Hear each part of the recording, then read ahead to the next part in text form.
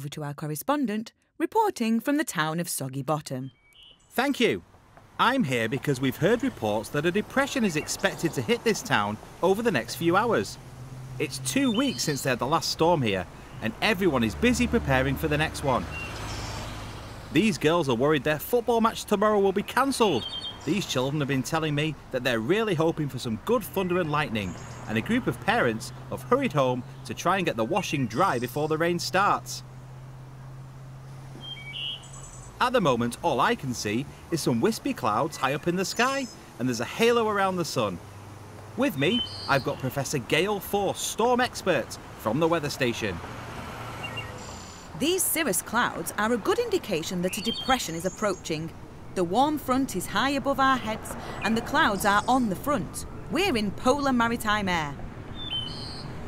It's a few hours later. Solid, featureless grey sheets of cloud fill the sky. As the depression moves towards us from the west, the warm front is slowly getting lower. These clouds are stratus. Stratus means sheet. Now the sky is covered in low, dark cloud. It's been raining for the last hour. It's quite heavy now. What's happening, Professor Force?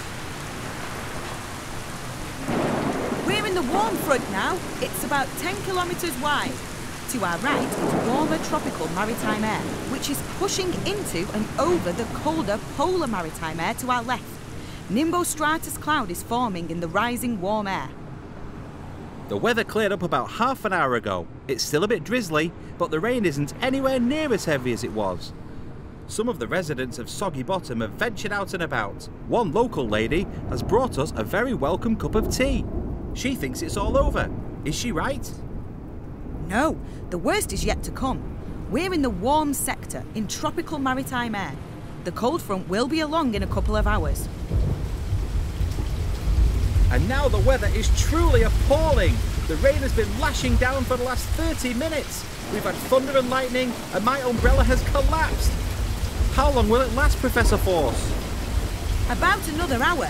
The cold front is above us now. The warmer air is moving off to our left, and colder air is pushing in from our right, forcing the air up from underneath. Towering thunderclouds, cumulonimbus, have formed in the rising air. We're lucky we haven't had any hail yet. Sometimes we even see tornadoes forming on cold fronts in the UK. It's getting dark now, and I'm glad to say the rain has stopped and the sky has cleared. We've just seen a spectacular sunset. Was that the end of the storm? It was indeed. The depression has moved off towards the North Sea, and we are in the polar maritime air behind it.